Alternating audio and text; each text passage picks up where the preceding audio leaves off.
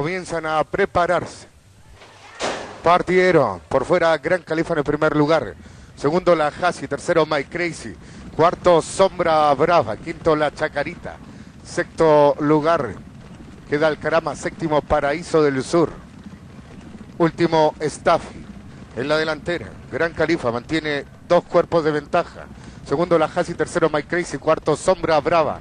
Este pasa al tercer lugar.